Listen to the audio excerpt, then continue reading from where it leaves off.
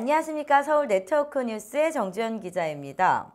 제철 농산물로 시원한 여름 김치 만들어 보시는 건 어떨까요? 서울시에서 무료로 광자를 열었다고 합니다. 서울시에서는 제철 농산물을 이용한 여름 김치 담그기를 배워보는 제철 농산물 이용 교육 무료 강좌를 농업기술센터에서 시민 160명을 대상으로 2회 진행한다고 밝혔습니다. 이번 강좌에는 이하연 전통식품 김치 명인의 강의로 진행됩니다. 배추 포기 김치, 오이 소박이 김치, 감자 열무물 김치, 열무 포기 김치, 얼갈이 김치 만들기를 시연으로 배웁니다. 참가비는 무료로 진행되며 참여를 원하는 시민 누구나 선착순으로 모집이 됩니다.